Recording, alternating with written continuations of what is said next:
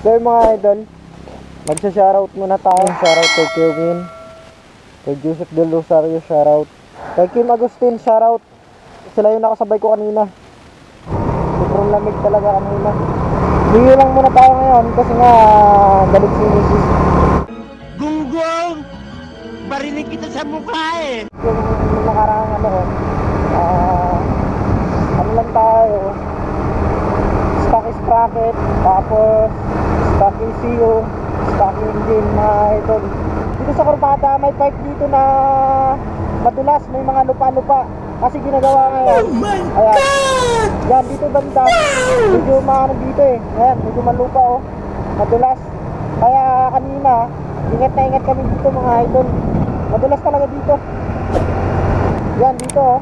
Malupa mga. Dito ito sa ano, San Carlos mga idol. Ayan, dito oh. Malupa mga idol.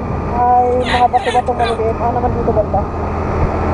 Yung stock tire ng Raider mga idol. Di ba banking-banking nyo, huwag nyo na subukan. Kasi ano, madulas talaga yan. Hindi naman tayo magaling sa ano, hindi naman tayo magaling sa cornering. Medyo nasanay lang ako kasi malimit kasi biyahe ko dito sa ano eh, sa Madarwak. So medyo kabisado ko na yung. Sa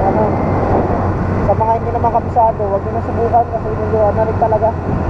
Talagang ma-overshoot ka rin talaga kapag ka sanay sa ano, sanay sa kalsada. Ayun mga idol, ride safe lang, lagi. Pag hindi kaya, huwag pilitin. Ano lang naman yun? Pag hindi kaya, huwag na pilitin. So mga idol, ito yung kanina. Ito yung kaninang ano namin. Ito yung kaninang rides namin. So panoorin nyo na lang mga idol. Đấy đấy không?